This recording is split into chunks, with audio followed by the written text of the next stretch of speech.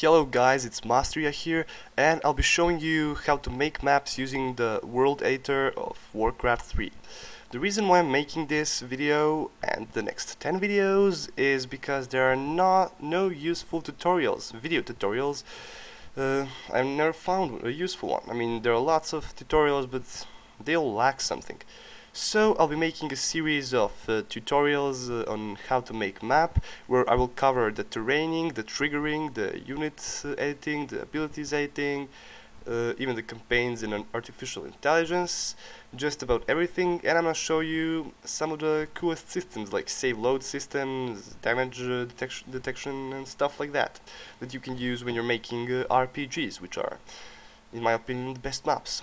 Okay, first of all, uh, this video will show you how to use some basic commands, you know. First is disabling this annoying grid that is useful for almost nothing.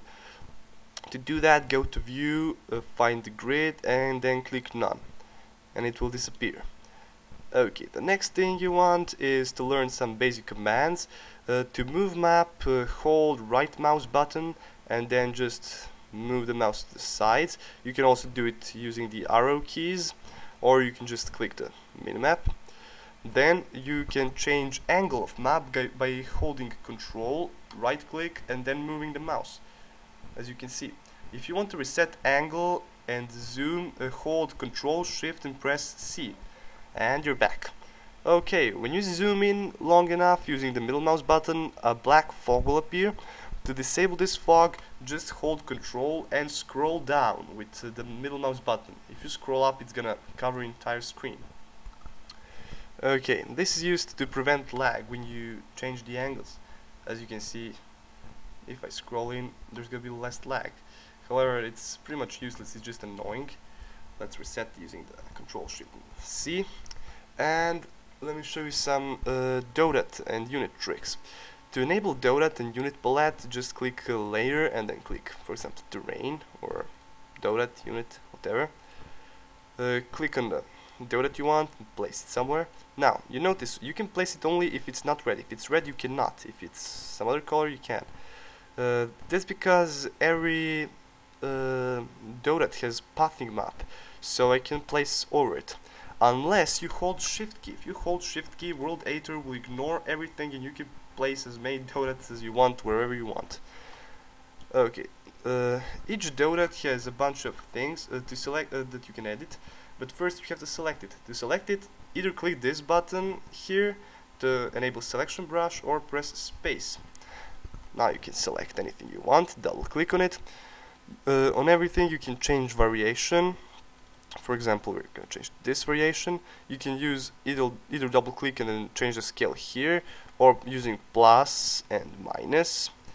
And um, you can change the facing point of this unit by holding control and left clicking somewhere.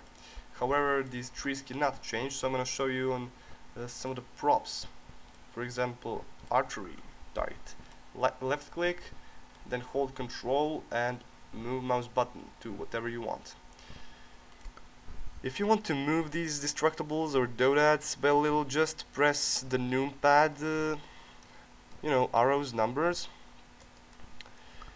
and uh, that's about it. If you want to lift something in the air without the use of object editor or doodad editor, uh, you have to, what was the button, hold control and then press hold page up when you lift it to whatever height you want. For example, you can see like this now. This is useful for, I don't know, if you want to put something above something else. If you want to put this on a fence, for example, you just hold control and page down till it comes to the fence, and you see archery range is now on the fence. And that's one of the cool tricks that you can use in map making. And those are basically all the commands um, that you need to start map making. Now, in next videos, you could I'm gonna teach you how to make first. I'm gonna teach you how to make terrains, uh, then doodads and stuff like that.